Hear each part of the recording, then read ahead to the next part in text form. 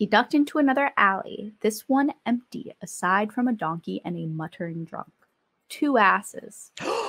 it's a, get it because donkeys are sometimes called asses. Soon, the dirt path to his Wait, village. wait, wait! I don't, I don't think you understood that joke, Katie, because you didn't laugh. Soon, the dirt, that's because it's not funny.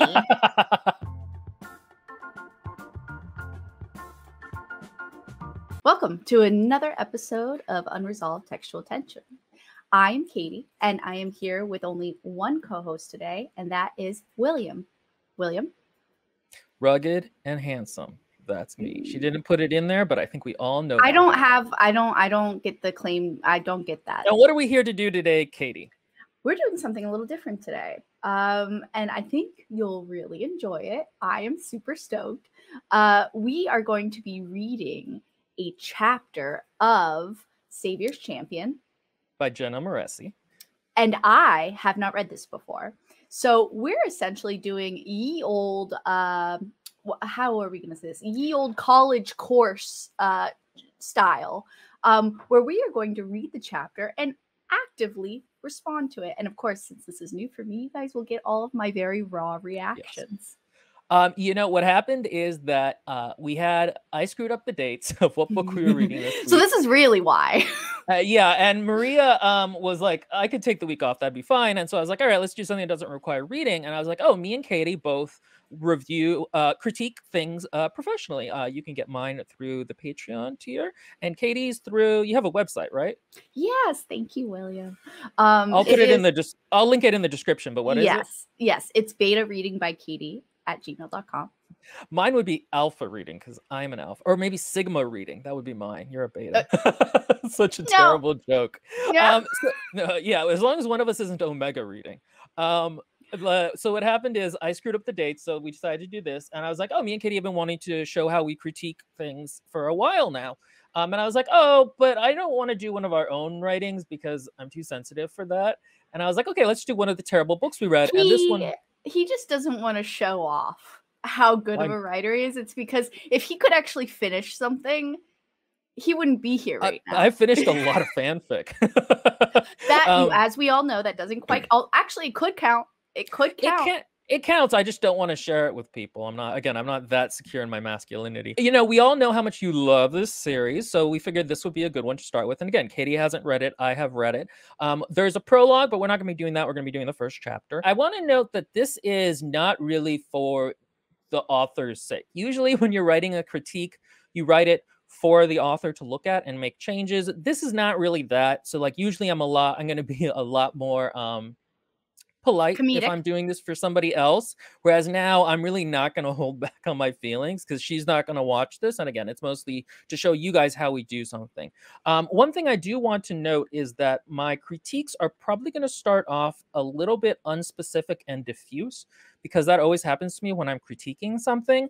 Um, it takes a little bit for my brain to go, okay, this is the problem exactly, and to switch on and figure out what it is. Um, this is one of the reasons I don't usually do a line by line critique. I usually just note overall problems and show examples of it in another doc um, because I find it just very repetitive to continually explain the problem that they have. Just do it once. Um, I'm not sure how Katie does it. She has like a different style, a little bit more razzle dazzle. We'll see. I I do line by line for the most part. However, uh, William is correct. It's um I happen to accidentally fall into the issue of I will see something in a line and it's still a problem nonetheless. But then about a paragraph down, I'll see what was supposed to be happening, and so my question will now be void, and now it will expand into a bigger issue even. Um, so oftentimes I'll go back and I'll edit my previous line, which is a waste of time, but I mean that doesn't matter right now. So but just bear that in mind as we're going through. And we're going to try to keep this relatively short. Um, and you know, uh, if you like this, join our Patreon. We have a book club um, where we you guys get to pick which books we do once a month, and we do it as a live stream, so we get a lot of comments and stuff like that. It's been a lot of fun. and it's been doing quite well. We do have quite a bit of people, and honestly, the majority of the people there are, of course, as you might expect, not just readers but writers. And I, they seem not necessarily from us, but from each other, seem to be building a community that's really supportive and very helpful in their writing efforts. So here's what we're gonna do. I have cool technology which allows us to see on Oh. screen. Oh my god! William, how positively cool. futuristic of you. Right. We can um, do comments. We can actually also do that thing where you're doing an editing instead of a. Oh, how do you do that? There's there's a way to do it so that it, you give suggestions. yes, you go up here. What we'll do is um, we'll read this out loud as we go, probably, and I'll probably just edit out the parts where we don't actually say, um, where we're not actively talking about the writing. So you know, if you want to find this, uh, you know, you can find this online. I would not pay money for it um, because this book is terrible. But oh, okay. God. so go ahead and why don't you read the first paragraph, Okay. Katie? The swish of the sickle echoed in his ears. Oh, I already hate this. I do How too, many let's get through- times Let's get through the it- paragraph first. everyone everyone who isn't visually engaged with this, it's the onomatopoeia we're about to get that seems to repeat itself many times. Anyway, okay, sorry everyone. The swish of the sickle echoed in his ears. Swish, swish. The rhythm endless, monotonous. It would have been enough to lull him to sleep, but fortunately the labor kept this fo- his focus. And if that ever failed, there was always the blistering heat to pique his nerves. God, he could have used a breeze, but the air remained perfectly still, and the sun continued to beat down on him like fire. It was a torture he'd never grown accustomed to, even after two years in this line of work. That is the most basic introduction. all right, let's talk about a couple of things. Uh, first of all, echoed does not make sense if you're in a field. Maybe she's Are trying to in say a cavern?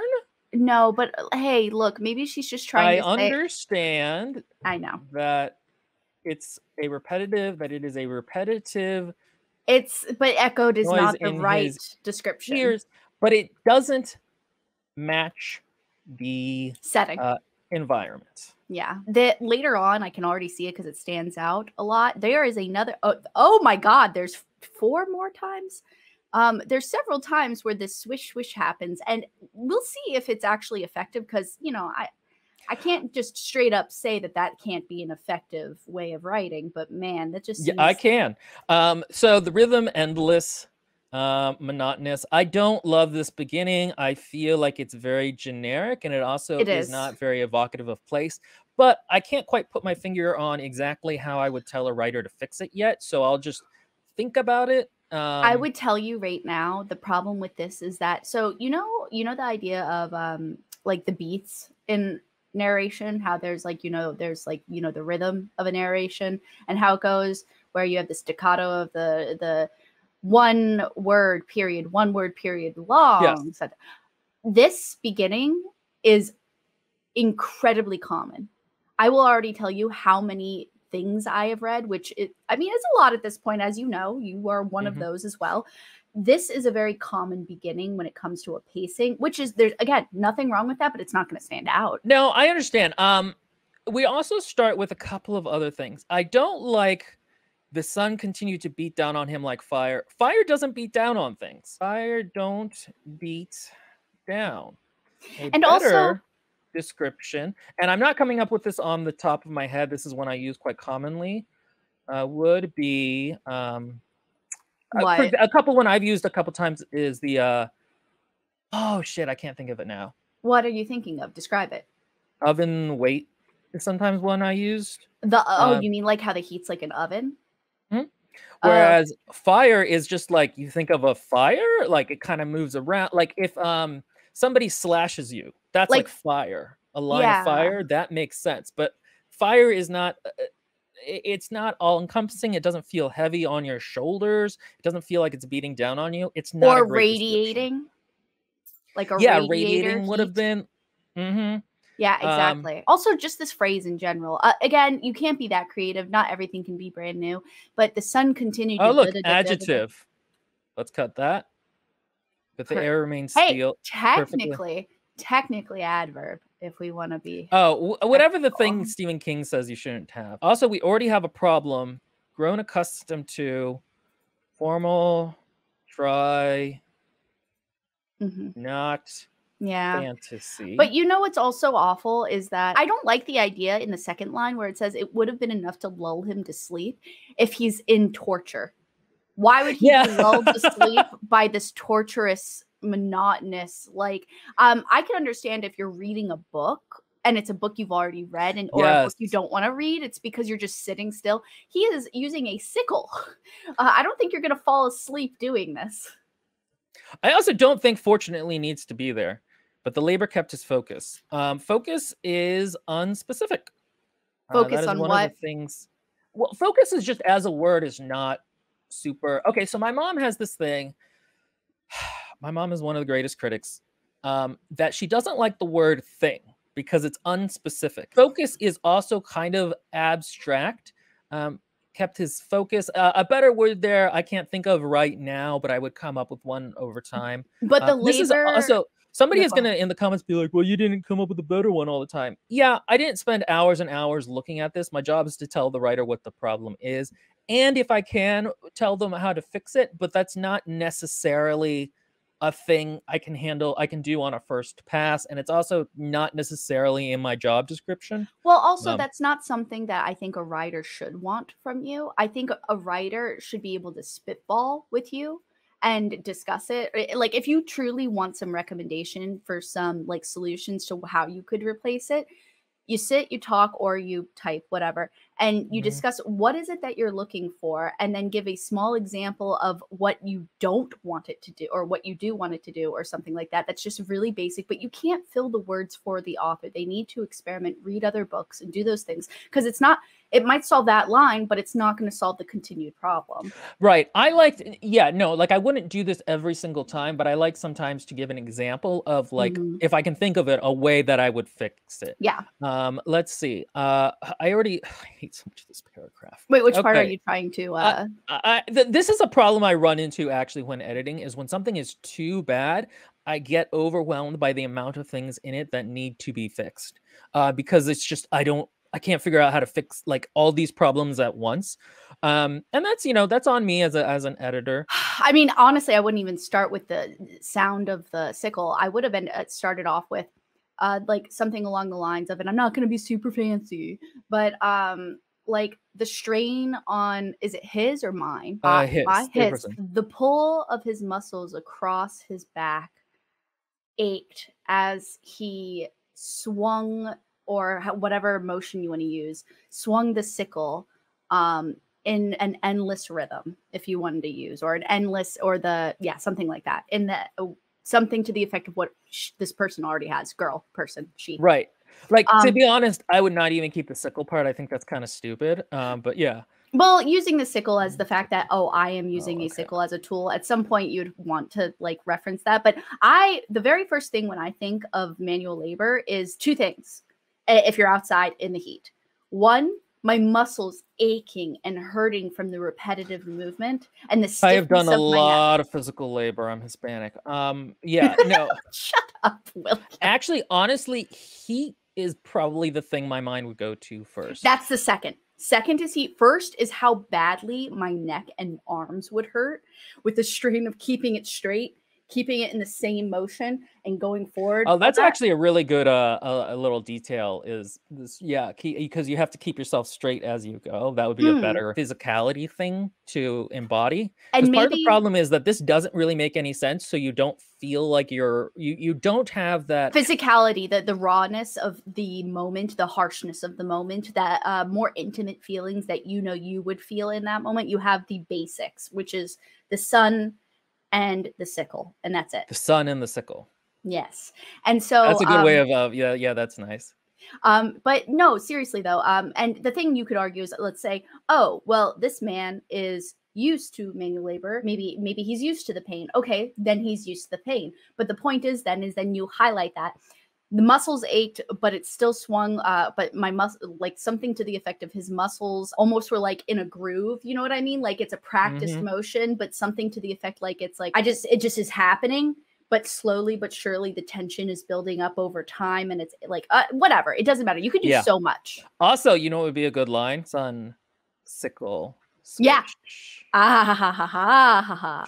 Okay, no, not the not the second. No, I hate that. I hate it. Wish. All right, fine, fine, Katie. I guess I am a better writer than you. All right, we should move on from this first paragraph. Um, because again, at that point, we just need to start rewriting all of it. So, harsh breath. This is abstracted. Uh, and that's okay sometimes. Certain words in English don't have an unabstracted version of them. Uh, but something like with a rasping, that's better. Spitting his last breath. I like that because whenever I finish something, I almost like, especially like, so I'm doing the lawn or something, right? And uh, let's say I'm dying, which doesn't, you know, take much, and I'm finally done.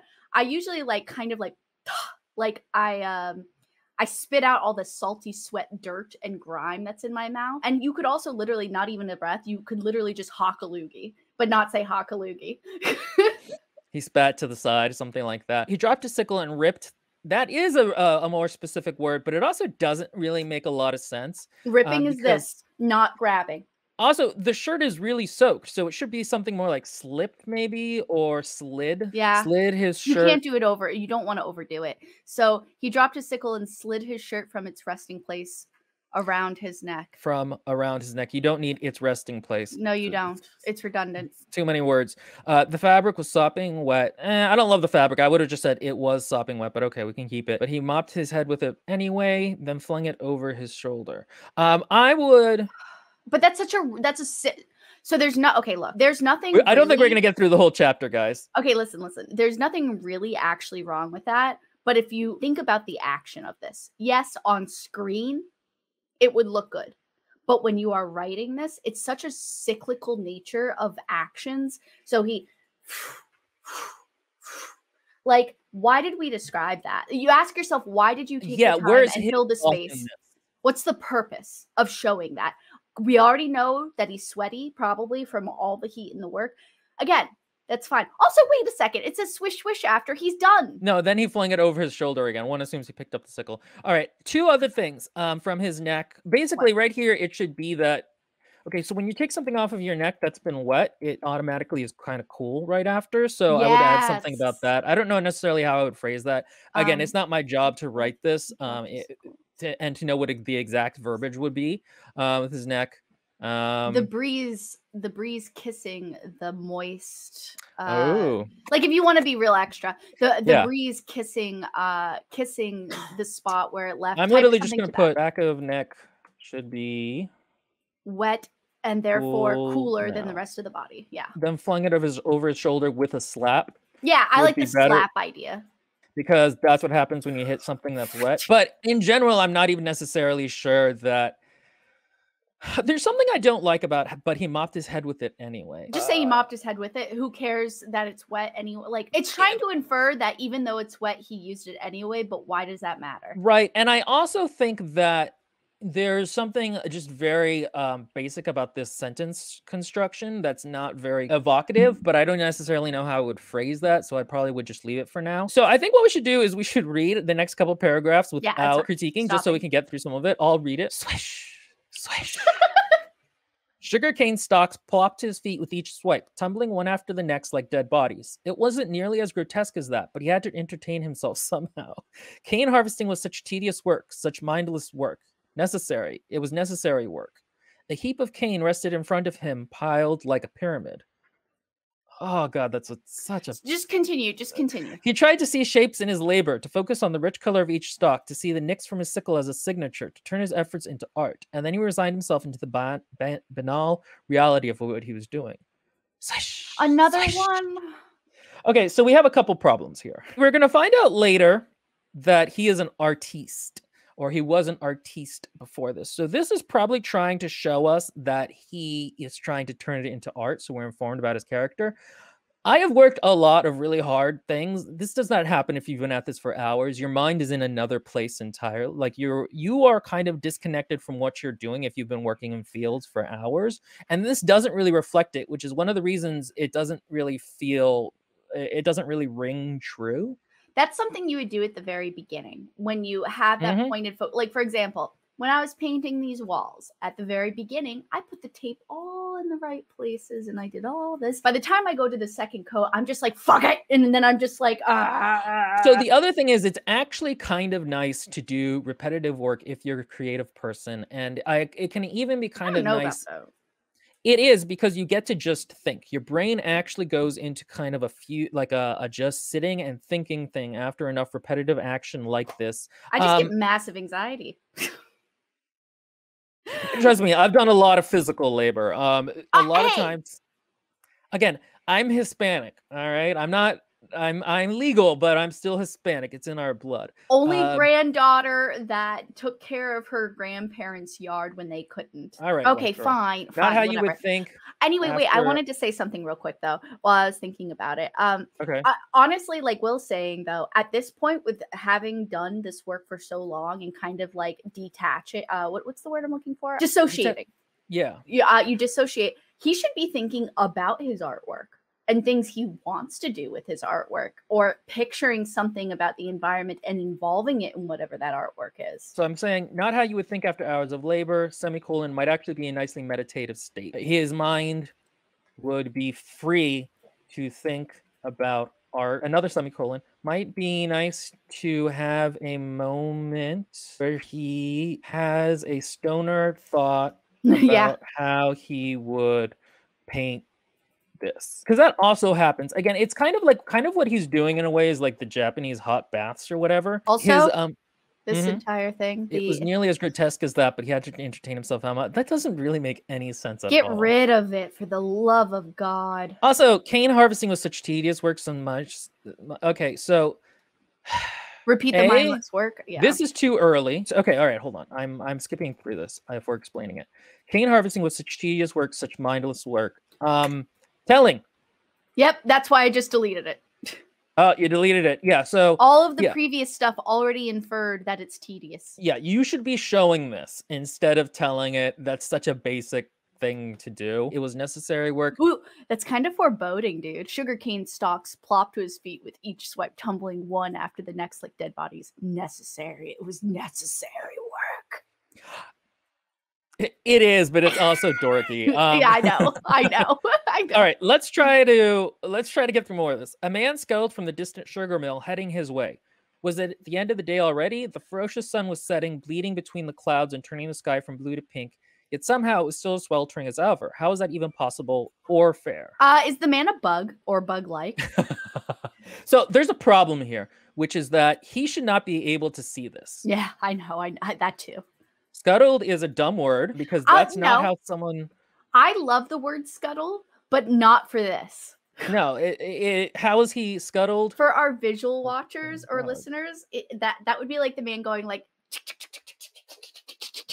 Yeah, exactly. Like that doesn't if he was moving from like shade to shade, that might be he was scuttling from shade spot to shade spot. That might be scuttling. Scuttling if he was like ducking under something, but like or going side to side because that's what scuttling is. scuttled. How is he like a bug? He is not checkmate. Um, the other thing about it is that Tobias cannot see this. Oh, He is that is name? cutting sugar cane. Makes no sense. He's seeing what's in front of him, especially if he is in this moment of focus, which he's supposed to be. He's looking at the stuff. Like it doesn't make any sense that he would see. Again, think about it like this. You're like this, you're cutting things at like actually below you height because you want to get the stalks at the bottom. You would not see something on a hill above you or even around you. Is it so? It's not omniscient. Bad physicality. So it's not an omniscient. limited. Okay, yeah. So, and for those of you who do not know omniscient or limited, this is a good opportunity to go look it up. Unless we, I don't want to be a know-it-all, but the point is, is you should know first person, third person, omniscient, third person, limited, and so on, and then second person, I guess. But nobody does that except for you know fan fiction writers from 20 years ago. Okay, so the ferocious, we're cutting that. That's stupid. Sun was setting, bleeding between the clouds and turning the sky from blue to pink. So there's a problem here, and it's not immediately noticeable because bleeding between the clouds sounds good, but the logic of it isn't. It's the light should be bleeding between the clouds. It should be the the sun was setting like a uh, orange disc behind again the cloud but again this is not the best prose um, i would usually put something like for example put something like this like an orange just being a light bleeding between the clouds and turning the sky from blue to pink i still don't even like turning the sky from blue to pink but I mean, honestly, that entire thing is just really lame. We already, well, uh, if it's if it's gonna go, okay. Wait a second. Hold on a second. Was was it the end of the day already? Wait a second. Wait a second. Wait a second. Why is he saying was it the end of the day already if he can look up and see the sky? Yeah, that's a good question. He'd be like, ah, it was the end of the day already. Also, by the way, it says yet somehow it's still as sweltering as ever. That's not true. I've worked labor. What happens is that it seems like towards the end of the day, so like here in Florida, about four, you're like, oh my god, it is so hot. In the last gasps of the day, it is beating down upon you. But And- then by about like five or six, it does cool for about an hour before. Oh my god, blessedly. The breeze comes out a little bit. Yeah, but at four o'clock, holy bejesus. I want you to imagine opening up an oven at 450 degrees and just sticking your face in there, and that's Florida at 4 p.m. And again, there's a moment where at about five where like you can actually feel the heat of the day maturing or maturing. Almost, but then it gets cool. I know because that's when I walk my dog is right in the hour before it gets dark. Obviously, this changes based off of winter and summer. So, my takeaway is that the author has never done any physical labor. For shame upon ye. But this is not how it would be described. Here's the other thing. It feels like he's whining. Like you've been doing this forever. Calm down. Like Well, it's if you've been doing this day after day, you get used to it. No, Will, look, look at this. We have now read however many words it is up until like here. What is that? Does it where's the word count? Wait a second. I just want to look word count. We have got 310 words. And you know what we've gotten? The sun is hot and I'm sweaty. The sun is hot and I'm sweaty. yeah, it's a bit much. And again, it's not real. Like if you're really good at physicality, this can work. Um, I remember I read the beginning of Stephen King's The Gunslinger, and that starts from an omniscient point of view where he he's not in his head and he's just describing what the guy looks like as he's walking. If you're Stephen King, you can kind of get away with something like that for a paragraph or two. You ain't no Stephen King. I was gonna say bitch, but I don't mean that towards the author. I just mean that towards readers in general. In Yeah, like kind of more like a sassy. bitch and again to the readers not to to her okay so and again here how is it even possible or fair calm down calm down you this would not be how you feel about it it's annoying to read whiny characters the man Ah. waved yes work was over and both relief and dread stirred within him he could get in some more work if he had to and he didn't have to And he did have to. What? oh and he did oh okay and he did have to Wait a second, wait a second. This doesn't actually make sense the way it's written. That's fascinating. It's because I feel like an editor should have caught this unless I'm missing something. The man waved, yes, work was over, and both relief and dread stirred with him. He could get in some more work if he had to. This is too vague. I don't understand if he's saying he could get some more work in with the sickle or he could get some more work in with other things. And he did have to, Yeah, that's a good dropping the point. sickle. So I'm assuming when he drops the that's sickle. what i he- thought at the beginning too Yeah. That that was a he could get work in somewhere else that's very confusing. I mean, uh, it does again. Is this like, okay? Look, I'm not even going to qualify with that. It's an issue. Yeah, I'm, I would literally put confusing. Um, also, something as an editor you have to do sometimes is be okay with looking dumb because you literally want it to be books to be idiot proof, and so uh, you can't be worried about like, oh, is the reader gonna is, is the author gonna think I'm dumb for not picking up on this? No, you need to you need to clarify. Yes, exactly. Dropping his sickle, he yanked at the sheath lying by his feet, hoisting a howl, however many sugarcane stalks onto his back. He recalled the first time he had done this, how the weight had felt immeasurable, how he had thought his back would break from the pressure. But now he was stronger, or perhaps the cane was simply lighter. That doesn't make any sense. The cane is not lighter. Recalled is a formal word. Would be better, would be better as felt.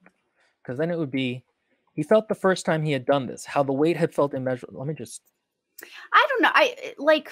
Wait. So you don't like recalled because it's formal, saying he remembered? he didn't say he remembered he recalled recalled uh, remembered would be better than recalled but uh, i think he felt we understand that he's not actually feeling this because a minute later we say the first time he had done this I understand. I understand what you're saying. Ah, yeah, I get it. i like to have things that are like slightly like lyrical-ish um and Rather than formal in this case, I get it. so this is supposed to be a fantasy world i don't think you know that but this is supposed to be like a fantasy uh, greek-esque world um so like we should be getting in a little bit of that yeah, um, you wouldn't say recalled. I would expect recalled from something like an academic or a scholar or something. He recalled the first time he introduced himself to her.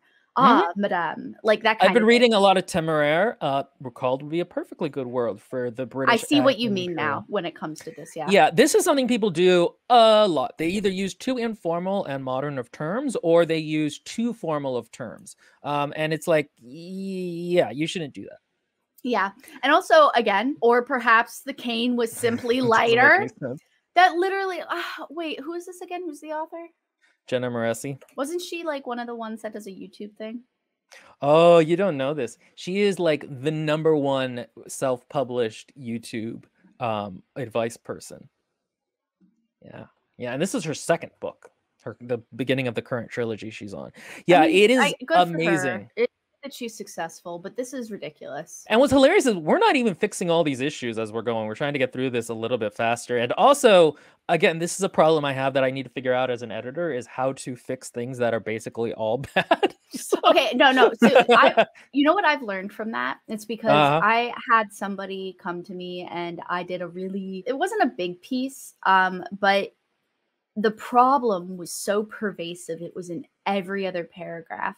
And at that point, that is a core issue with your skill as a writer and mm. it's really hard um it was hard for this person to acknowledge it but mm. that's mm-hmm. fine i understand why it's very frustrating and you you think like it's it's it's very hard to it, again you're building skill just like it would be hard to level up to another level on a game or something like that with like instead of the sub uh, the mm. you mm-hmm. know whatever i just do want to end on the note that if that is something that is the problem you can't help them as an editor as far as that goes. That is a constructive thing that they would need to do research on like read other people's writing like you need to almost like give them homework to figure out yes. how to do it correctly yes, is, is like almost how i think these should be done um, uh, uh, in general, the way people write is so weird. You know, it reminds me of before standardization, everybody made their own gunpowder and bullets and mm-hmm, guns. Mm-hmm. And it's like, why are we doing it like this? Why don't we standardize how to make guns correctly, make bullets of a particular size?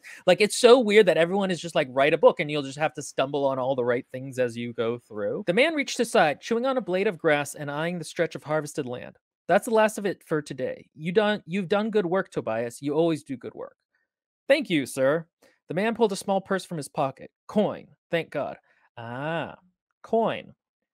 This is the most annoying fantasy trope.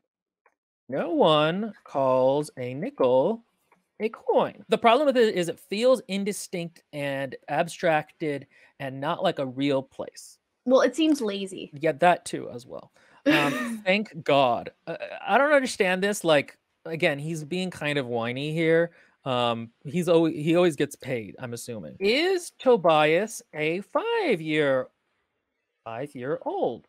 Actually, Why is there a god in this world? Is he? Oh God, you don't even. I'll tell you about that. Why else is he complaining? Okay, so I'm gonna just unveil this for you. At one point in the book, they mention that there is a god. But that's the only time it's mentioned. Bear in mind that in this world, there is someone who has magical powers who rules the country, and it's never explained why she isn't a goddess or why they don't explain. I missed it, and a lot of people missed it the first time. And the author likes to say, like, oh, you can't help it. Sometimes people don't pick things up. No, no, I'm an adult. If you haven't, yeah, you need to explain this properly. Instead, it just feels like they're saying thank God as um, a generic like cuss word or or uh, whatever that word kind of a word is called. Um, so, but yes, there is a god not mentioned a lot. The way that it feels is like coin. It feels like you just didn't really work very hard on what the culture of your world. That's so, but that's also like again, if you are wanting to be an author, whether you publish things or not, you can't that's not an excuse. You cannot just say, "Oh, well, you just didn't pick up on it." Absolutely not. That means you as a writer, just like as a director, mm-hmm. like if a director didn't include a scene that would make some plot point make total sense, then that's because the director effed up and did not show that plot point that was important. There was one movie um, I remember seeing. I can't remember what it's called. I think it's called Hollidaysburg. But anyway, in the original version of the movie, there's it's following three different characters as they go home for the holidays, and two of the characters are very similar looking girls who are brunette. And it took a, and it was a problem because a lot of viewers in test screenings couldn't tell until like halfway through the movie that they were different characters because they just kind of looked the same because all white people look the same. So they made an edit so that early on there's the point where all three characters are on screen so that it's clear to the audience that oh no, these are three characters, these two female characters are not the same character. And you can't go back and complain about people not picking something up in your book. Your work has to stand on its own as a text. And so again, think of the if the director had just been complaining afterwards that like oh authors weren't paying attention or readers weren't paying attention. God, aren't they the worst? Like that's not how it works. Okay. He cocked his head at the cane in Tobias's arms. Trade, the man tossed the purse to Tobias, who in turn hurled the roll of cane at his employer. Hurled is an aggressive word here. Um, after the guy tossed it. Again, also, hurled wait. is like, I'm mad at you. Okay, wait a second. Wait a second. Logic error is a better word. Uh yeah, but also like so it just said before he hoisted a whole bunch of sugar cane onto his back First of all, I have a question. Not that like maybe this is necessary, but does he have all the sugar cane in like a contraption that keeps it together? That is um, actually what I was thinking as well. And then second, but again, that's not crazy important. But then second, it's really heavy um in general, meaning it is a heavy object. How could you hurl? Hurl is like you hurl a ball. You hurl a pencil. You hurl something light to someone. Yeah, heaved, and also you could not heave it across. Well, and also you can't do it without all the sugar cane going flying. Like exactly. So that doesn't make any sense.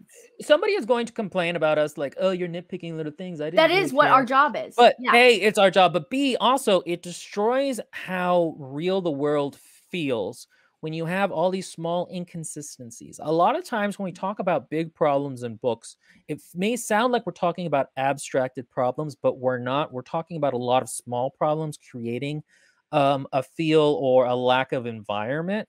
Um, and especially in a so, uh, in the beginning of this book, which is it's an intro focused on the physicality of where Tobias is in this moment and what he is feeling. It's important to get small details like this right. And also, like, it's just bizarre. Like, these are just weird. Like, I would not normally have this. An author usually should not have this many problems. Um, also, he then says apologies. No, okay. Uh, a, a provincial Greek man is not saying apologies. Oh, well, Greek. The problem with this apologies provincial. is just as bad as coin. It just feels really. Uh, uh, um, oh my god! Abstract. Are you serious?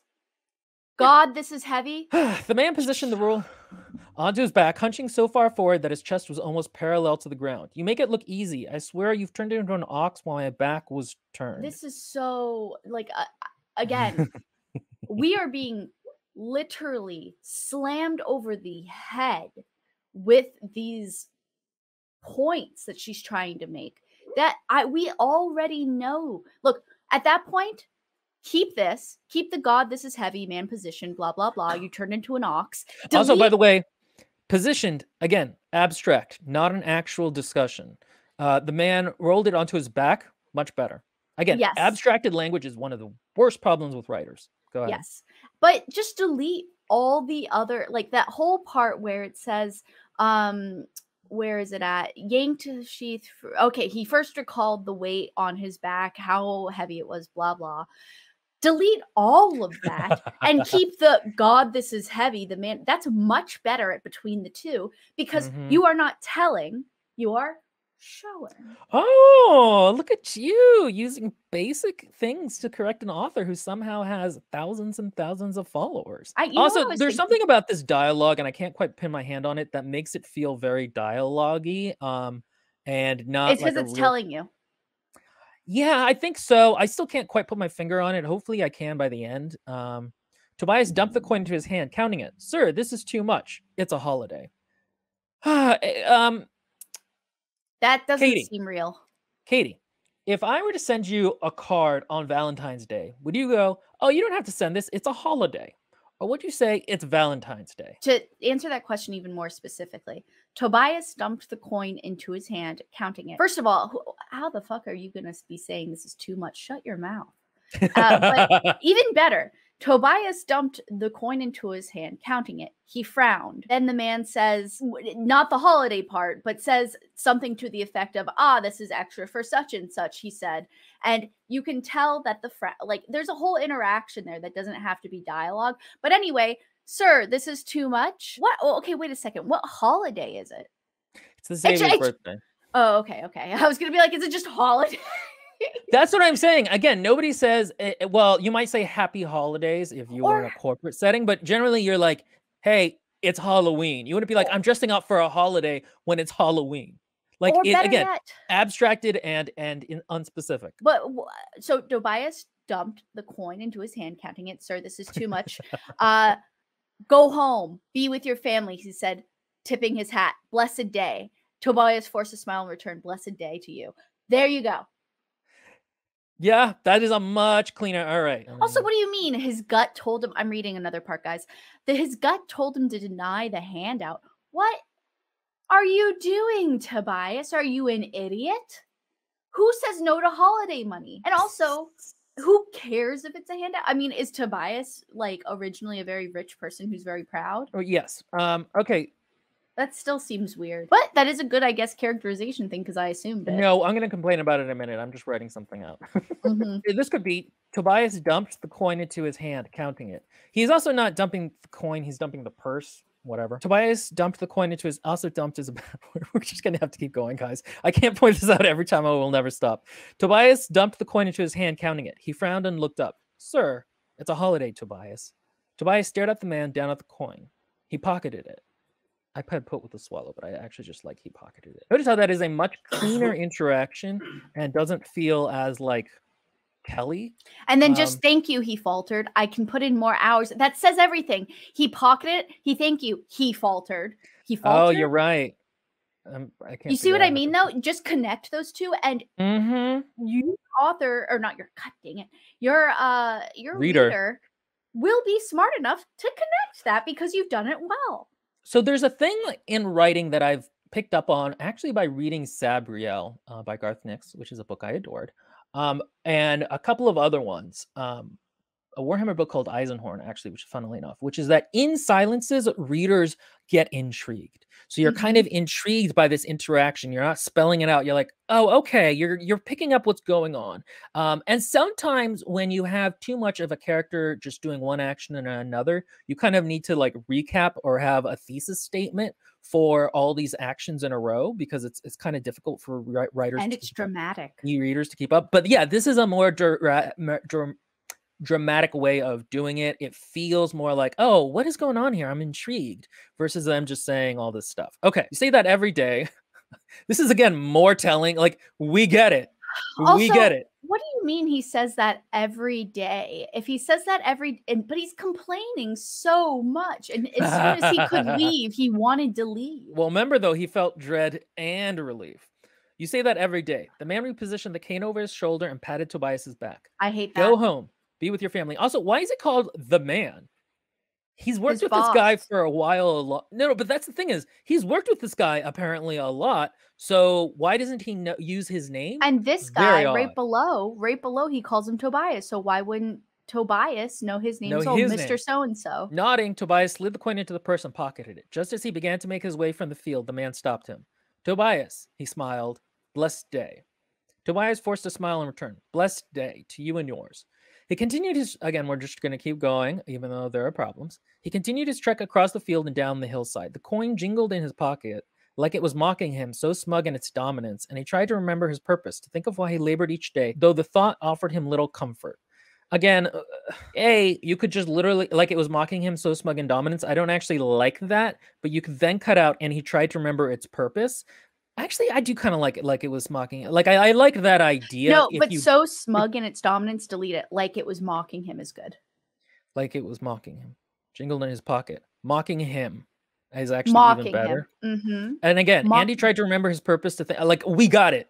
We got it. Leave us some leave us some silences to punctuate so that the sound has more power when it does punctuate it. Also, mocking him implies so much.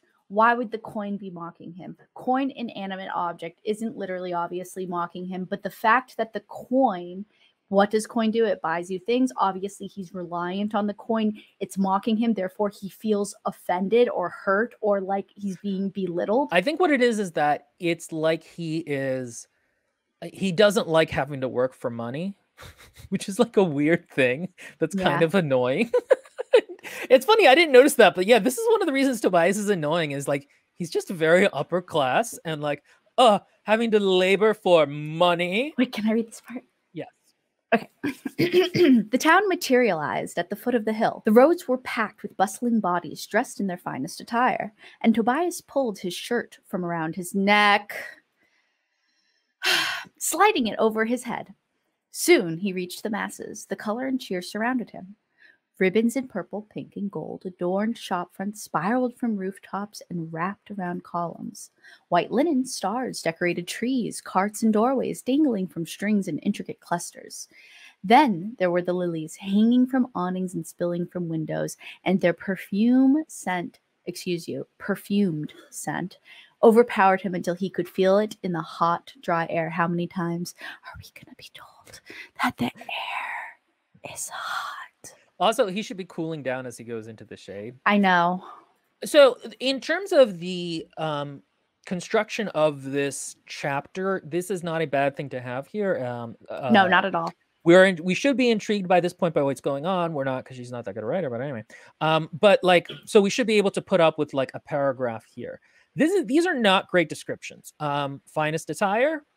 What does that mean? No, one of the things is that Maria, when she was reading this, didn't realize, and actually a lot of people didn't realize that this was like a Greek-esque setting because, i- i- like, uh, bustling bodies dressed in silk and um, For silk, and- silk and fringed togas, uh, silk and fringed togas. their sandals, uh, their leather sandals Leather tied all the sandals. way up until the around their whatever whatever Greek people wear in the day. Yeah, and also you could even make a note that like instead of saying uh dressed in their finest attire, you could put something about how like this is the one pair of clothing they keep. Uh because like peasants in general that have like their working clothes and their church clothes. So you could say something like unpacked from their careful folding from years in the box. Something like that. Again, I I I think There's a that's too reason it takes me a specific, but I get what you're saying. that's what I'm Um, saying is that idea you could even put in there and then that gives some cultural nuance to what's going on. honestly you know what i mean when everybody goes to church right and they have their their good church clothes right it's usually the exact same type of clothing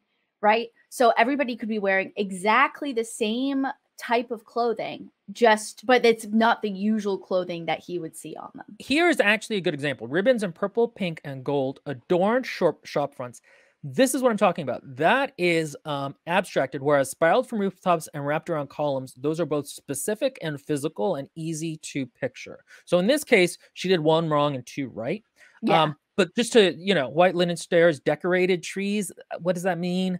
And doorways dangling. Again, How that's about- better. Yeah instead of decorated trees how about we're hung from the tips of tree branches on the wheels of carts and across the fronts of doorways dangling dangling you from strings. you could even put something like and you wouldn't do this because this is a desert but in a description like this um you know uh left across them like um snow in winter or something like that where you could actually put a good descript uh oh what are those called? White linen uh draped the branches like um snow in winter or something Yeah, like that simile. or similar yeah like that would this would be a good place to put one of those in to make it like a little bit more um oh god. environmental dude okay so everyone in the next line i'm sorry i'm jumping a little but it, this is what i was going to say anyway but then i looked and just happened to notice the problem already existing. The town was only this beautiful this alive one day of the year and today was that day P- today people feasted celebrated.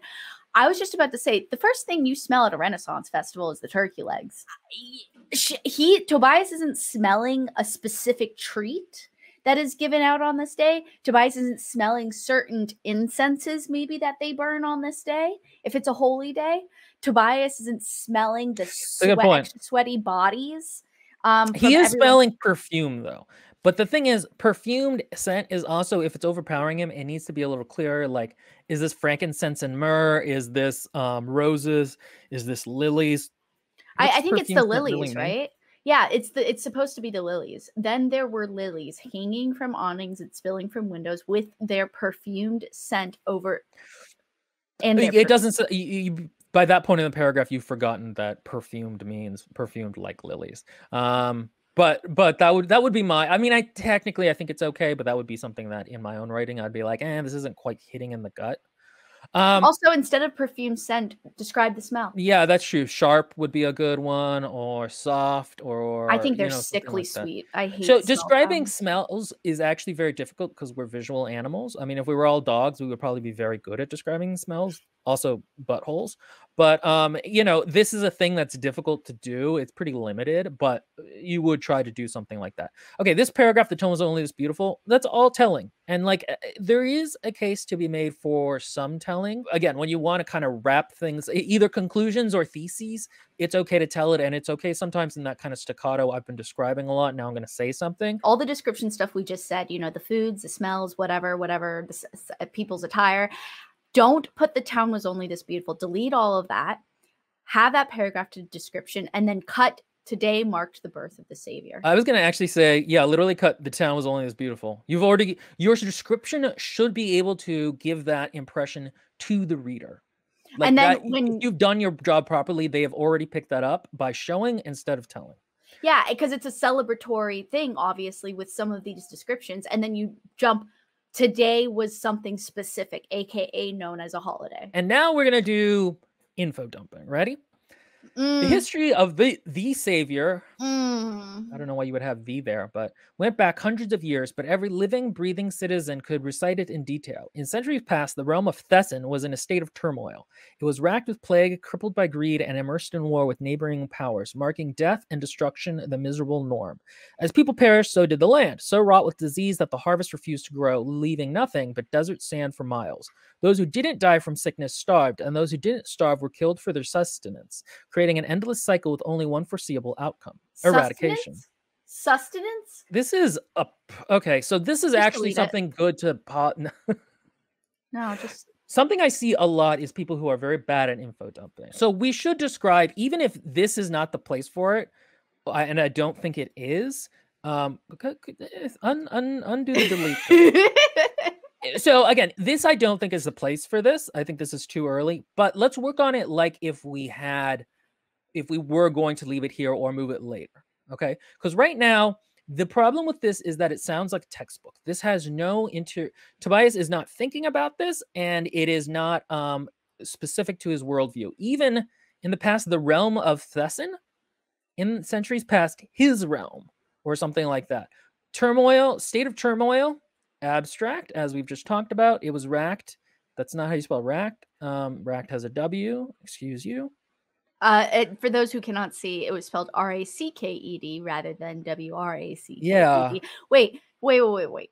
Does this book have an editor? I was just gonna say, did nobody crippled by greed could be something like um, uh, infested like with merchants or something like that. Again, something that's a little bit more specific and immersed in war with neighboring powers and immersed with war with the wolf soldiers of the east or something like that. Again, these are very unspecific things. Um, and also, you need to tie this into what Tobias is thinking in this moment. Why not just simply? I feel like so they're all peasants, right?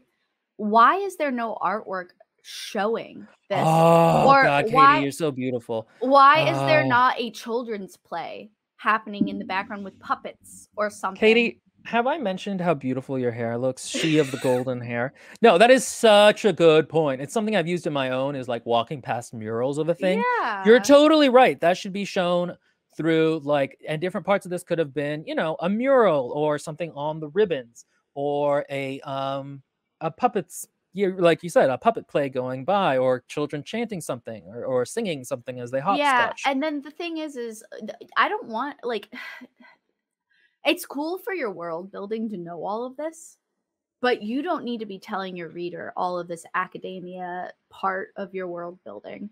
Like this should be cultural. It should be ingrained in the dialog mm-hmm. and in mm-hmm. the setting. So nobody goes to church and is like, thousands of years ago, Jesus, who was born in Nazareth under the reign of the Romans, had a moment. Actually, I have heard something like this at a church. No, no, no but you don't think that. Oh yeah, no, like, no, no. I'm no. going to church Man, that's a pretty stained glass ceiling. I mean, look, You know what she I could mean? have she could have still info dumped if he uh, like is slightly religious, went to church, sat in a pew or whatever the Oh. heck their version is, and then Oh. literally listened to it. He is not down for any of that savior crap. He doesn't believe in all that stuff. Well, then maybe he needs to see someone who's there and they're there and he's waiting patiently and listening to the thing.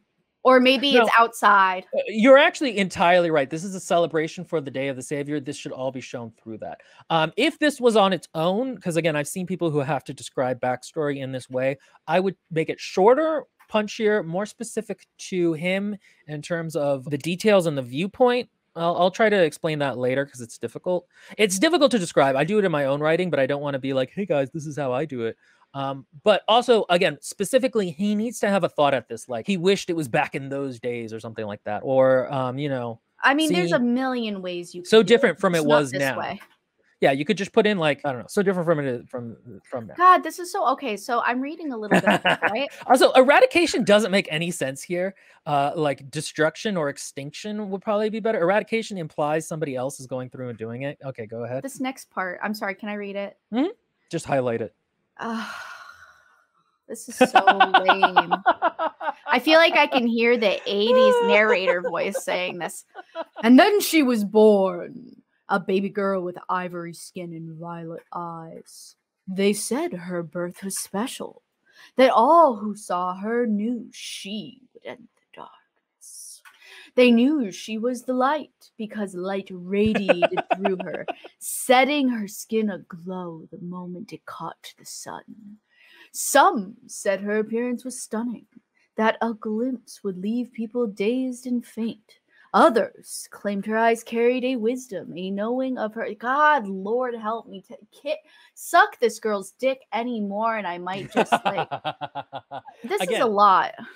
a lot of this would have been better. Uh, you know, another cool thing would have been if um, there were different pictures of her, but the, all the pictures, but the pictures kind of looked different. So maybe like the store owner has one with her with a sickle and hammer, or one of them has her with like flowers in her hair, or she looked more like this or that because cultures, especially in this time period, didn't have Xerox machines. So they would have like does anybody even know what a Xerox machine is anymore? Is that just me? So something like that. But yeah, and again, this sounds like it's from a textbook.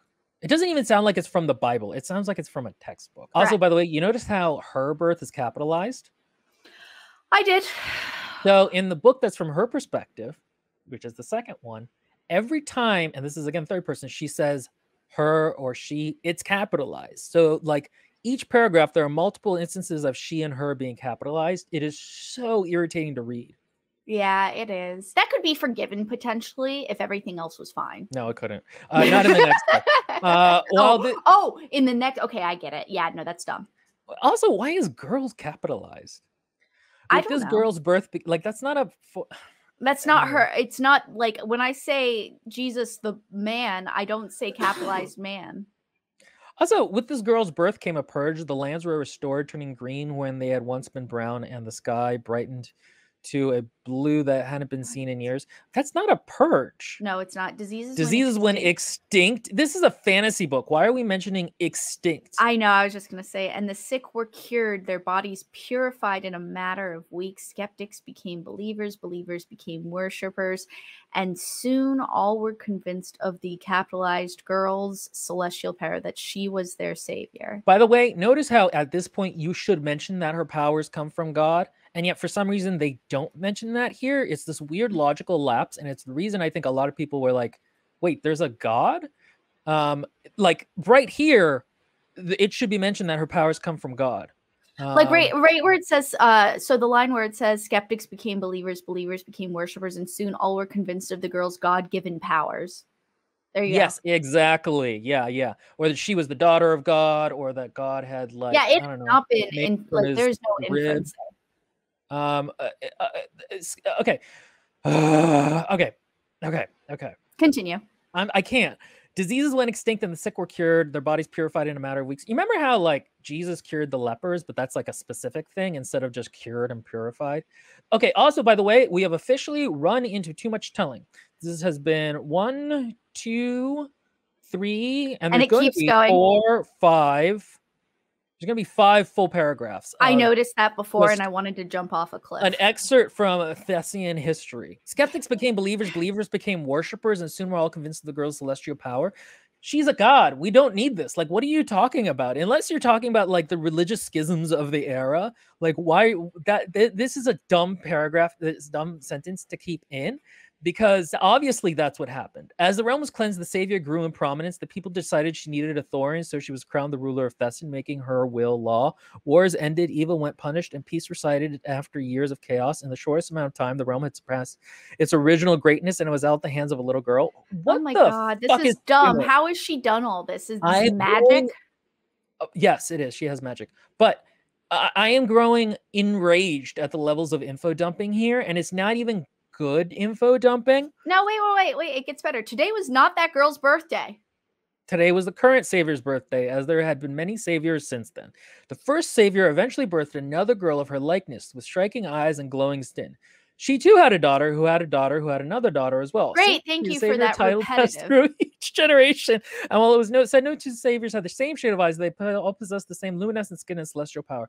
More importantly, with each savior, the land was fruitful, peace was upheld, and the realm remained prosperous. The realm remained It's press. five massive paragraphs. I'm gonna cry. Um, yes, okay. today was truly a wondrous day. A day for joy, for food and rest. Hold on a second. Pause. Like in the old editing in the 90s. Go right back up. What did it say right over there? Uh, the town was oh not oh excuse me the town was only this beautiful this alive one day of the year and that day was for feasting and celebrating happy kind generous Also, by the way, you want to know how you could just sum up all five paragraphs? she of the violet eyes and the pale skin He whose magic had brought Thesson from a wasteland to a- the kingdom, uh, Tobias had grown to manhood in now. Bam. done Like, there's so many things that, like, and again, especially if he's going through a market, seeing like pictures of each of the saviors over again, you could he could see like savior this, savior that, who was known as the saint of this or that, and that implies that there have been multiple generations of saviors, or the you know the savior and her daughter, um, which tells you that they have daughters. People or somebody saying the tale of so and so the tale of her daughter so and so people aren't stupid they can infer um, what the savior of a country is like by just saying that she was the god's daughter or something like that like we don't need this many we can understand if there's multiple of them it's a hereditary issue there's there's no need to spell this out in such agonizing detail horrific detail one might even say. Also i want to remind everyone what's happened so far in give me one second oh it Um, was hot it was wait, hot no. don't forget that Okay, word count. We now have listeners and watchers 1,289 words. And of those words, we have gotten it is hot. Tobias is done with the day and he walked into town. and the land worships a- savior and Yeah. that's it all right you read the next part because my uh, my energy just plunged and i feel my soul dying Okay. Uh, like all right here you can read right. this highlighted part like i literally just felt my energy plunge I almost, I know I could feel it through the camera. okay, yes, today was truly a wondrous holiday, a day for joy, for food, and for rest. Uh, wait a second, that's not a complete sentence. a day for food, for joy, for rest. Okay, that's fine, whatever. But not for Tobias. He still worked. He always worked. God. okay whatever Blessed day to you and yours. The phrase repeated around him, and he hurried his pace. He hurried his pace. Ugh, uh, sorry. He hurried his pace. Put off by the greeting, he headed down an alleyway, maneuvering between stacks of woven baskets, trying to avoid the smiling faces of those fortunate enough to be celebrating. Darting across the stone road, he ducked into another alley, this one empty aside from a donkey and a muttering drunk. Two asses. it's a, get it because donkeys are sometimes called asses Soon, the dirt path to his wait village. wait wait i don't i don't think you understood that joke katie because you didn't laugh Soon, the dirt, that's because it's not funny. it would have been funny without saying that. It would have been like, oh, if somebody came across it, Oh, Um, go ahead. Or specifically, like, why would the drunk be an ass unto himself? If he started cursing at Tobias without the mention of the two asses part, it's implied. It's fine. You could also whatever. put something funny there about the um the drunk possessively keeping his uh bottle from the donkey or something like that. You know, something where it's you know like More kind of a little jokey, a little Terry Pratchett. You know what I mean? Oh, yeah, yeah, exactly. Soon, the dirt path to his village was in sight, but just as he escaped the alley, wait a second. Uh, how can you, everyone, listen, listen to this. He's in an alleyway, right? He's going between woven baskets. Apparently, there's just a lot of woven baskets. I mean, that's a good point. Look, this is Aladdin rules, okay? Soon, the dirt path to his village was in sight in an alleyway. Yeah, that is weird, actually. But just as he escaped the alley, he stopped. Okay, wait. Ahead of him was the dirt road. It just said that. Oh, okay, anyway. Ahead of him was the dirt road, and to his right, a shop with reddish walls. Why not just red walls? And an open front. Vibrant paintings on pulled canvas lined its countertops, and a portly man shuffled through the space, an artist, the most prominent in all of Thesson. He stopped to wipe his brow before looking out at the road at Tobias, and a soft smile crept across his face, the kind that held a hint of sadness, of pity. Tobias nodded, then made his way down the dusty dirt road. I don't want to have to stop every paragraph, but here's the thing, guys. Why doesn't he know this guy's name if he's the most prominent artist in Thesson? Bear in mind that Tobias used to be an artist. I cannot smile crept across visualize this. No. Yeah, that's I this is cannot weird- visualize this even remotely. shuffle through the space. Uh, space is abstracted and not specific. Vibrant paintings on pulled canvas. He should know what kind of paintings they are. There could add a little bit of detail there. And show Um, his knowledge about art. Mm-hmm. Um, or even be like a little bit shitty about one of them, like oh, his brushstrokes. I Kind of sucked in that one area. Oh, Tobias nodded and then made his way down the dusty dirt road. The two mile walk, why do I need to know two miles? The two mile walk seemed especially long, making the uphill climb more taxing than usual. That doesn't make any. Uh, what the two mile walk seemed especially Finally, his home appeared in the distance, small and bland, like every other cottage in his village, with plaster walls and hazel thatched roof. It was the very last cottage on the hilltop, and while the trek to and from it was inconvenient at best, the view was a worthy consolation. Endless sky consumed his vision, now the color of apricots, as the sun disappeared from the horizon. With a grunt, he opened the door of his cottage and made his way inside. So there's also a problem here by that from the fact that we have gotten no real interiority from Tobias, and also the beginning part where I was talking about silences. It's been five paragraphs of um, info dumping and another page of just description. There's no sense of who Tobias's character is. He's not having thoughts about the town. He's not having thoughts about the info dumping. He's not having like conversations with people as he's walking by, like saying, Hey, yo, what's up to you, dude? Like, none of that is happening at this point. the smell of boiled something.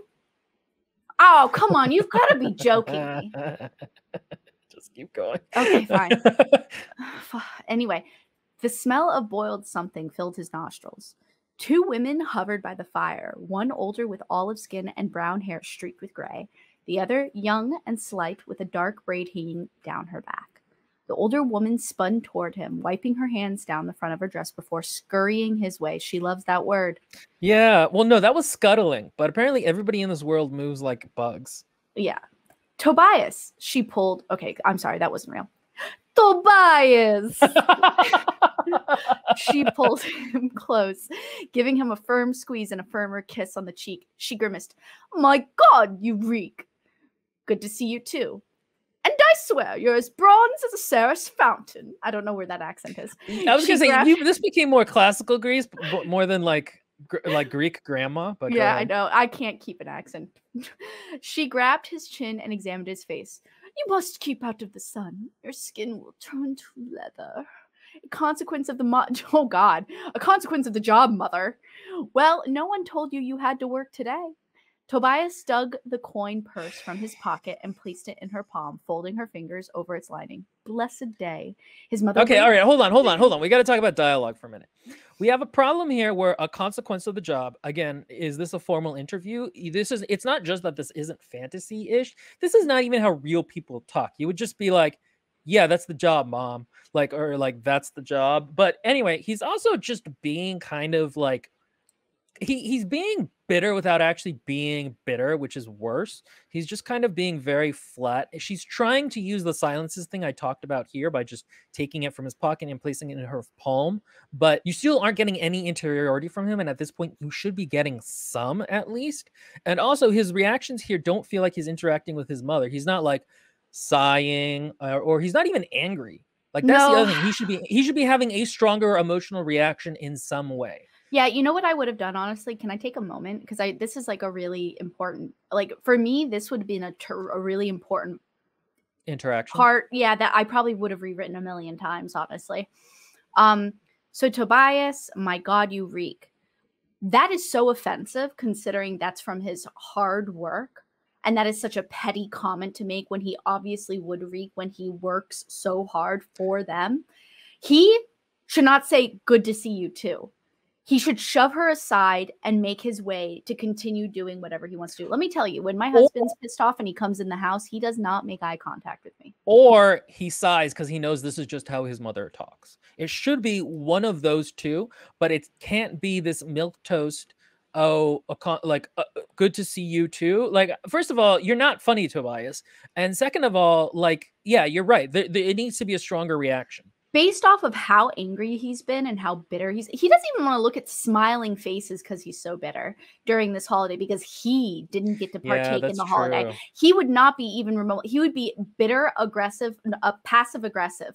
He'd come in he would move past her he probably wouldn't say anything and then she would continue talking trying to be nice and i swear you're as bronze as this you must step out of the sun your skin will turn to leather. Another jab at the fact that he's mere peasantry now or that has to be manual labor or she should realize she started out too strong and go, well, you looked as bronze as a Ceres fountain, a, a, fine work, or something like that, or you look as bronze as one of the heroes in the stories. Like, exactly. If she realized, oh, like, oh, oops, I, I, overstepped there. Never mind, it's good. Like instead of just re-saying the same, like the, here's the thing. Yes, she, she's saying the same thing twice. She's it, it's the it's the same like oh, you're poor now. You shouldn't be poor. I'm going to complain about. It. Yes. And so if she's a shitty mom, she would continue and say the leather comment. If she's mm-hmm. trying to be a good mother, then she'd be like that. And then it would hit him the wrong way because it still does say the same thing. Um, in a way, it's because and if and then uh instead of a consequence of the job, mother. God, I mean, at that point, this is so bad, guys. This is again why this doesn't feel real. This does not feel like a real relationship. And honestly, you need to establish character dynamics so quickly. Again, I like the idea of her starting with my God, you reek, him like maybe just giving her a flat look and her being like, but it's okay. You look you look good and bronze now, my son. You, like you you know what he could say? He could say um, something to the effect, but not so like teenagery. He, he could say something to the effect of like, "Yeah, I'm just a gross pig." aren't I? yeah, he could go farther. And if you wanted to be kind of witty, you could have him go, uh, I don't smell as bad as whatever you're making. Like, yeah, like that would that. be great. Oh Even, my God, that would be great. But yeah. not as bad as you're cooking. You should get better at that, mother type of thing. What do you have in here? Uh, blah, blah, blah, blah, blah. I work yeah, hard all like day that. and I come back to this bullshit. We've both worked, we've both worked hard all day, but uh, I smell better than you're cooking. Yeah. Oh God, perfect. Yeah. Well, she's also one of those people who's like, oh, we have to make self-publishing a better name for itself. You should always get an editor because you don't want to seem um, unprofessional. Yeah. You have to understand. I'm gonna look this up really quickly because I need just half a second break. She has yeah, 277,000 subscribers. But so they're probably has, young people. They're probably young people. Well, it's how a lot of it starts, and also her writing tends to be a lot of like 10 more of the worst tropes in books 10 worst ways to end a book. Well, 10 things no one tells you about releasing.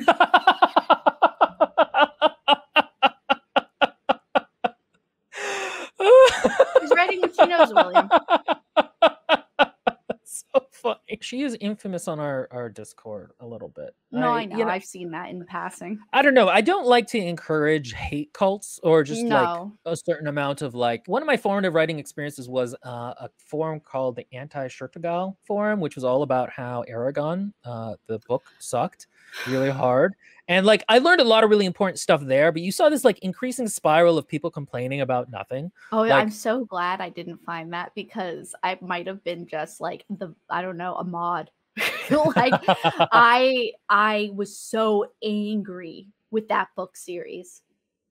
yeah and again i learned a lot of great stuff from it but at a certain point it got like the criticisms of it everybody was kind of trying to outdo each other in the same way that you do. Everybody's hyped up. Also there's like a limited amount of stuff because he took forever to release books. And so like i don't want to do that but like you know w- this is only our like fifth video on her in two years so okay let's try to push through a little bit more because i can feel my energy like lagging That's fine. We don't have to finish Um, the whole chapter.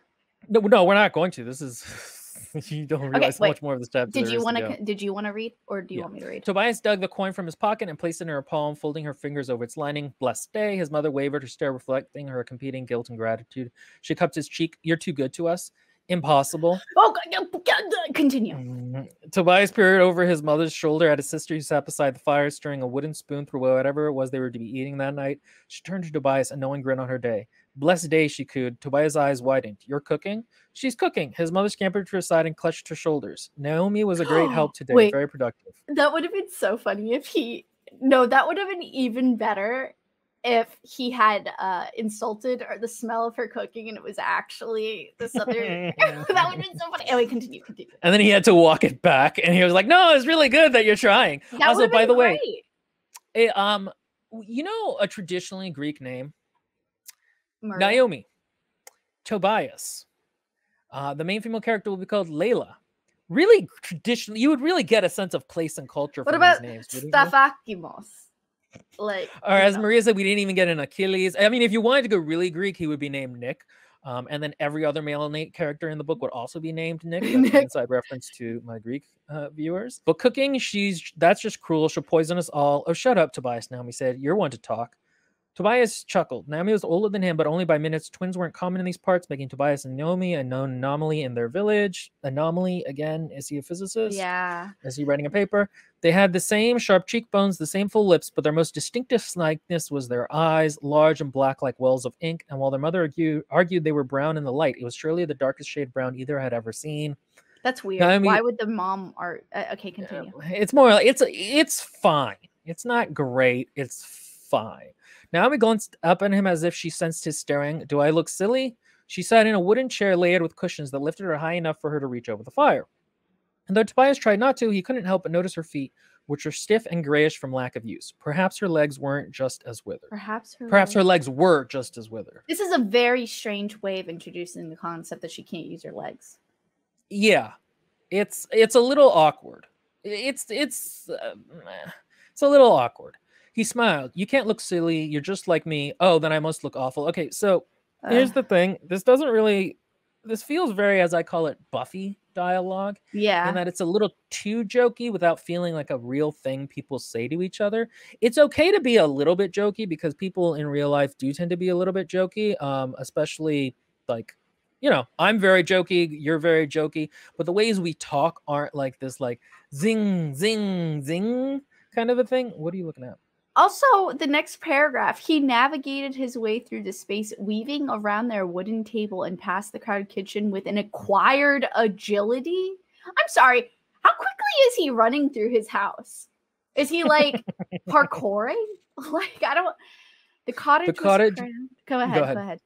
The cottage was cramped, a single room functioning as many. I mean, first of all, everybody does that, but whatever. The entryway was a dining room, fairly comfortable for three, and behind that was the sitting room, a lone wooden chair resting atop a faded rug.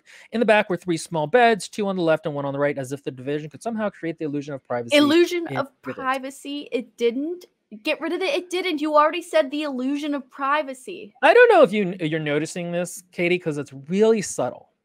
But Tobias is a rich kid who is bitter at having to be poor. Like this is like I had not realized how annoying this was until I'm rereading this because I originally read this like forever ago. Um, This is a little- exhausting to read. I am so glad that I did not do this book with you guys. oh god, and the sequel is worse because the sequel has the problem that its structure is fundamentally flawed because it's telling the other half of a character's um point of view of the same events of this book but she didn't leave herself enough space to say anything new so you just expect everything to happen that happened like there's no new story there's no like revelations about things going on um, and she also can't work out the timing of the emotional beats correctly because she already tied herself down in this book That's all right i so think this is going to be let me just see really quickly if there's any funny parts to go over I'm looking too. Also, her mother is saying, or his mother saying, reprehensible. Again, there seems to be no sense of like, hey, this is a fantasy world. By the way, they also use the word uh, décolletage later, which is like, Stop it! yeah, which is like, really? We're using we- French now? Victorian era nobles. Okay, yeah, I think this is gonna be it. Um, yeah. Would you guys like us to go over another book? Leave that in the comments below. This was weirdly exhausting. I usually don't get this exhausted when doing these, but this was a lot. Man, we There's got through so- like three pages. well, there's so many fucking pages that are basically like it was hot, and then all of the savior that it was hot. The savior was a god. Hey, his mom and him don't have real emotional interactions. What? Well, that, that's it. And it took like 80 pages. It's not 80 pages, it's like five. It's interesting going over it because I knew it was really bad, but it's interesting just to really enumerate um, and look at the ways that it is really bad. And again, we didn't even really fix anything like paragraph by paragraph. We just started skipping things to get through some of the major points. This would be so much work to overhaul. Like, it's so surprising. she's it would she's be not even- so much work. the thing is she's not even a good fanfic writer and like I, I i don't say that to denigrate fanfic writers but when you're reading because again there are some just amazing fanfic writers um but when oh you're writing a fanfic you're willing to put up with more because you're like okay i want to see the characters smush faces together and maybe there will be smut later but like if i read this as like a fanfic of a character i liked or something i'd be so bored i'd be so bored and i'd be like this is not good More importantly, I'm not buying a fan fiction. She is selling this as a product. Yeah, that's what I'm saying. That's what I'm saying. You need to get you you need to actually set up like likability in the character and interest and intrigue as to what's going on. Yeah, this is bad on even just a sentence to sentence level. By the way, um I don't think you know, but this on Audible, let me let me Are you gonna tell me a price? No, I mean it's a normal priced book, which is amazing. No, I was going to tell you the length of it.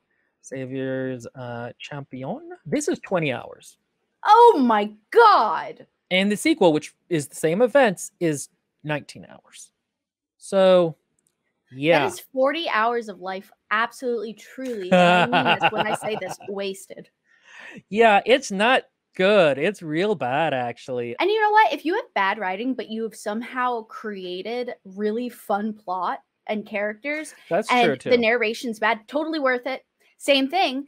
Uh, actually, no. Your characters always have to be lovable for it to be a success, um, in some way. yes, that is the only way Marvel has survived up until this point. Oh my god, Uh, I know. So there is an extent to which, like, if this was faster paced and funnier and like uh, honestly just faster paced, I would be more okay with this because we would be getting through it faster. Part of the problem is that this is actually just very plotting at this point, and Tobias is not an interesting or fun character. He's just kind of like pissy and rich. That's gonna be it for now. Uh, what other books would you like us to take a, a first uh, look at the chapter of? I I'm not sure how much we want to do this because I don't really want to turn this into a writing channel. Um, I don't feel like we necessarily have the authority to be doing that. Okay, Um, okay, hold on a second. I, my love, we have degrees in this, and we have active experience for several years. I would say yes, we do, but I understand your point. But um, no, no, no, no. But uh, every now and again, special filler episodes, like for example, the podcast I listen to, Last Podcast on the Left. Every now and again, they have a side stories episode when one person is missing. And so on those side stories, they talk about several short stories rather than one long story. So there we go. That could be it. Um, well, again, we kind of want to do something where we uh, uh, review each other's writing um, and do like a full like critique, like we would in a workshop, and then on on on uh, on an episode, we would talk about what we each found in each other's stuff and what we liked and what we didn't, and kind of give feedback in that way. And so, yeah, I think that would be kind of cool. If you would like that idea, uh, let us know. Uh, join our Patreon, supporting uh, independent journalism. And Maria should be back for uh, next week. So lots of manic hand gestures. Go ahead and say goodbye to our parasocial darlings. Farewell, goodbye to you, my friends.